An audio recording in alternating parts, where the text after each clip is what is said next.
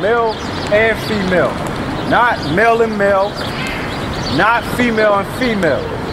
Or, or oh, oh, my bad, it's a mistake.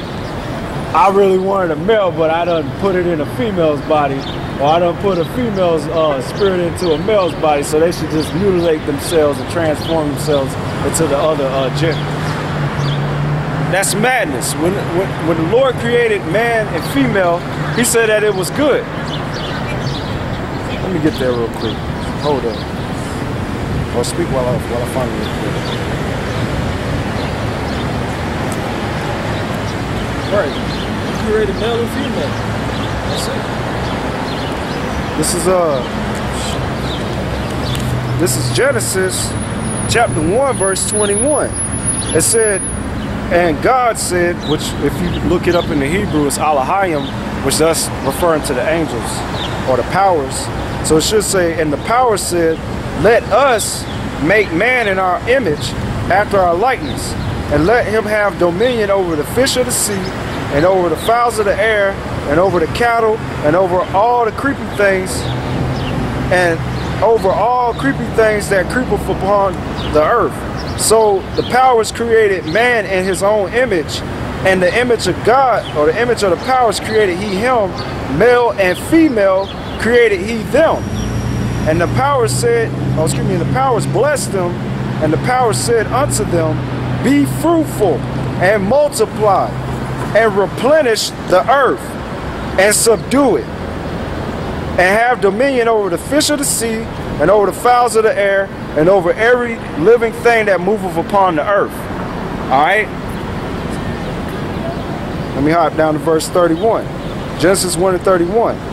And the power saw that saw everything that he had made, and behold, it was very good. And the evening and the morning were the sixth day.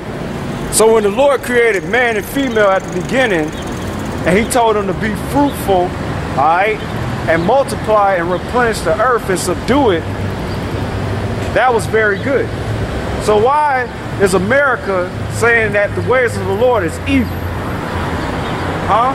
Saying that it's all right for two of the same genders to get it get it on. All right?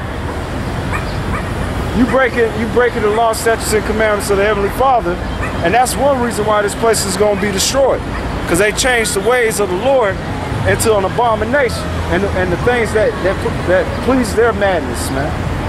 All right. And you so-called Christians in these churches talking about you love the Lord, but yet you, you passive or non, you, you're neutral on this subject. The Lord gonna destroy you too, man. All right. The Lord told you. Read that again in Matthew chapter 19 when He said, uh, when when when God created them at the beginning. Uh, Matthew chapter 19, verse 4. And he answered and said unto them, Have ye not read that, that he which made them at the beginning made them male and female? Uh huh. Keep reading. And said, For this cause shall a man leave his father and mother, and cleave to his wife, and they and that and they twain shall be one flesh. Uh huh. Keep reading. Wherefore they are no more twain but one flesh. Yep. What therefore the Most High have joined together, let no man put asunder. That's right. So when they're joined together, all right, it's it's by the uh, the decree of the Heavenly Father, which that was that proves the Native Americans, all right, our Israelites, because they believe that marriage was, and the Mexicans believe this too, that marriage was ordained by the Great Spirit, that He was the one that set it up for for a man and a woman to get together to bring back uh, the seed, replenish the earth. Okay? They actually believe that concept. Why? Because they're Israelites. We know the so-called white man, he don't believe that. He believes in uh, sodomy, which is an abomination. So go back to Romans. Romans chapter 7, verse 2. For, for the woman which have not an husband is bound by the law to her husband so long as she liveth. That's right. So as long as her husband live, she, according to the law, she's she belongs to him. Okay? She's not free to go and, and have sex with another man. She's supposed to stay with the first man that, that took her virginity, according to the laws. Keep reading. But but if the husband be dead, she is loose from the law of her husband.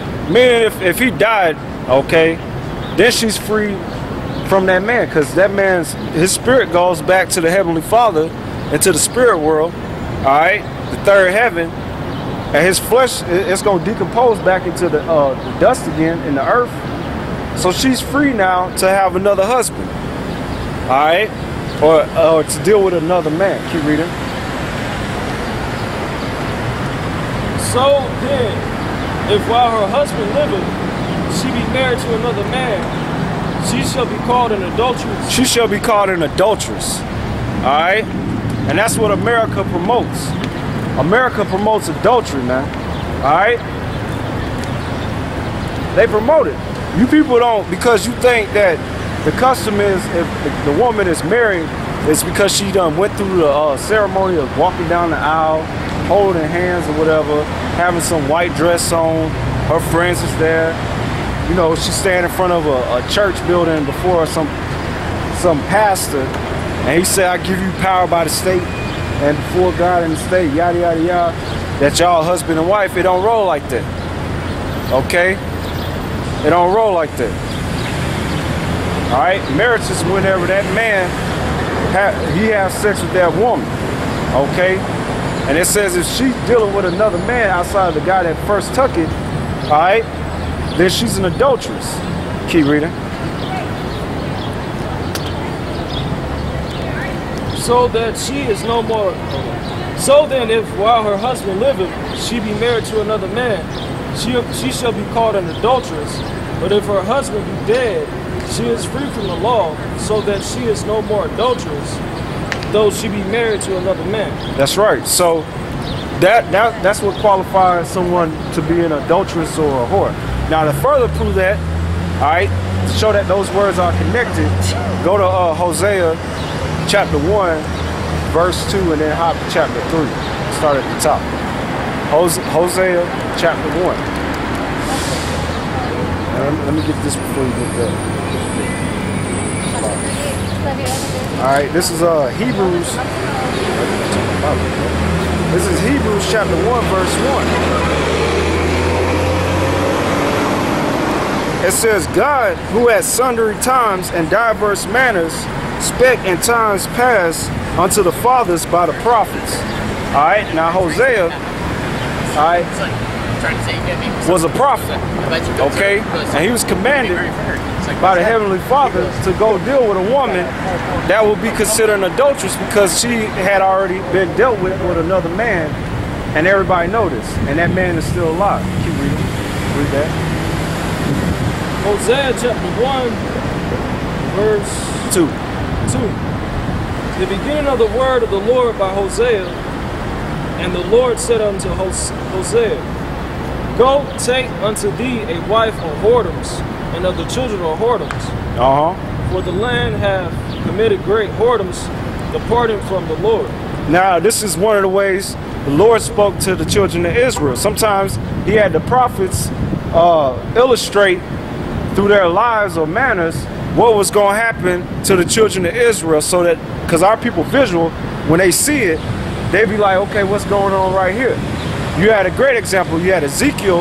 A lot of the things he did was uh, outward signs to, to demonstrate the fate of the Israelites.